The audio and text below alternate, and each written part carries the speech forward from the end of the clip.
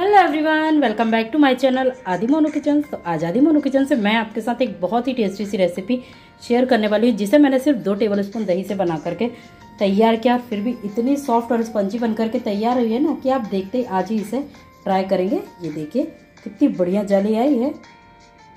दूसरे साइड से भी मैं आपको चेक करवा रही हूँ और ये देखिए कितना सॉफ्ट बन करके तैयार हुआ है। बनाना भी इसे बहुत ही सिंपल है। तो चलिए देखते हैं कैसे बनाते हैं, एकदम टेस्टी परफेक्ट सा बेसन का ढोकला। तो इस नाश्ते को बनाने के लिए मेजरिंग कप से एक कप मैंने लिया है बेसन। ये बेसन को मैंने पहले ही छान करके रख लिया था। One tablespoon sugar add करेंगे। Half tablespoon salt add करेंगे पर taste. One four tsp turmeric powder add करेंगे। थ्री टेबल स्पून दही ऐड करेंगे। एकदम कम दही डाल के आज हम इसे बनाएँगे। अगर आप दही नहीं डालना चाहते तो दो नींबू का रस निकाल लें, उसे डाल के भी आप इसे बना सकते हैं। उससे भी आपका नाश्ता बहुत ही सॉफ्ट और स्पंजी बन करके तैयार होगा। दही वाली कटोरी में थोड़ा सा पानी लेंगे, उसे भी ऐड कर देंगे।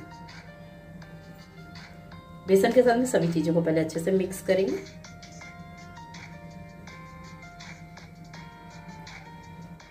जिस कप से हमने बेसन मेज़रमेंट किया था, उसी कप से मेज़रमेंट करके पानी भी लेंगे और थोड़ा थोड़ा करके पानी डालते जाएँगे। और बैटर को अच्छे से मिक्स करेंगे, जिससे कि बैटर में एक भी लम्स ना पड़े। अगर आप बेसन को छान करके लेंगे तो आपको बैटर बहुत ही जल्दी बन करके तैयार हो जाएगा और आपके बैटर में बिल्कुल भी लम्स नहीं पड़ेंगे।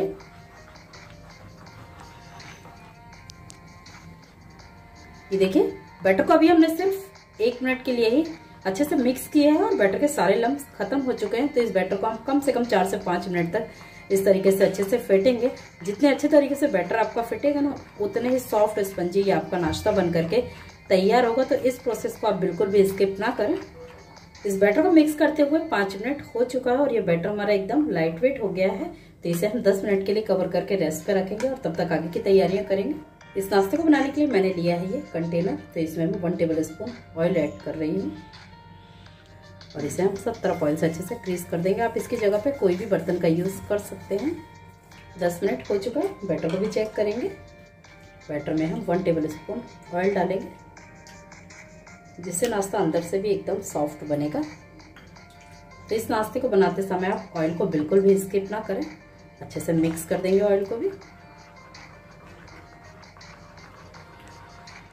ऑयल को मिक्स कर दिया है। तो अब एक पिंच इसे मैं ऐड कर रही हूँ खाने वाला सोडा। सिर्फ़ एक पिंच ही ऐड करेंगे हम। मिक्स कर देंगे इस। ये हमारे नाश्ते को सॉफ्ट करने में और एक्टिवेट करने में बैटर को बहुत हेल्प करता है। ये बैटर हमारा एकदम तैयार है और नाश्ता बनाने के लिए इस तरीके का फ्लोइंग कंसिस्टेंसी वाला बैटर ही आपको बना करके तैयार करना है। ना इससे गाढ़ा बैटर होना चाहिए और ना ही इससे ज़्यादा पतला, उसमें हम बैटर को शिफ्ट कर देंगे।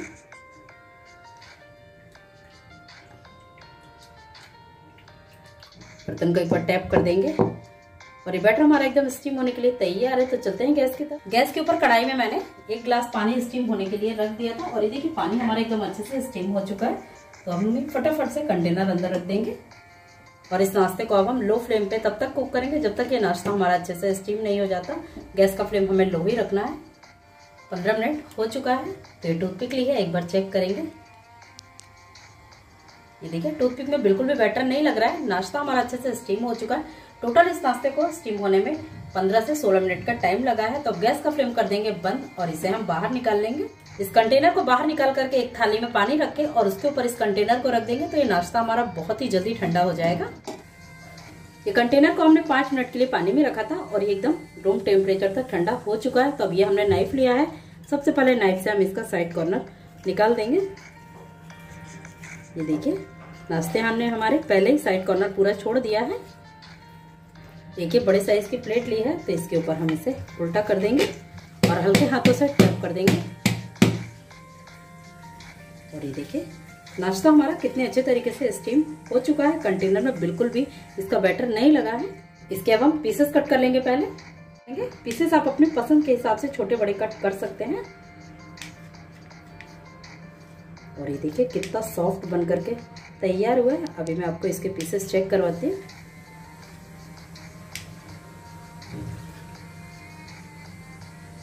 प्लेट को घुमा लेंगे।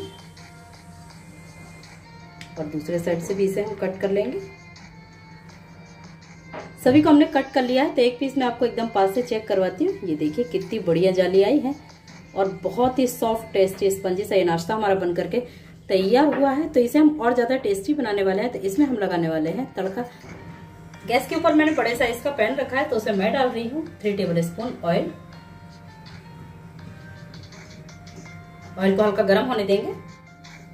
ऑयल गर्म हो गया है इसमें वन टेबल स्पून में राई ऐड कर रही हूँ राई को अच्छे से आपको चटकने देना है पहले तीन हरी मिर्च को मैंने लंबे लंबे स्लाइसेस में कट करके लिया तो उसे भी ऐड कर देंगे थोड़े से कड़ी पत्ते ऐड करेंगे एक चम्मच इसमें मैं व्हाइट वाली तिल भी ऐड कर रही हूँ जिससे नाश्ता हमारा लुक वाइज भी बहुत ही अट्रैक्टिव लगेगा ये देखिए सभी चीज़ें अच्छे से चटक चुकी हैं तो इसमें अब हम ये जो हमने नाश्ता तैयार किया है उसे ऐड कर देंगे